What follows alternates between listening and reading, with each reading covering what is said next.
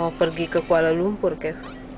Kerja di sana. Vira sama Denis mau Ngapain? pindah ke sana. Hmm. pindah ke Kuala Lumpur. Panci berangkatnya hari Selasa? Kita telepon Panji deh sebelum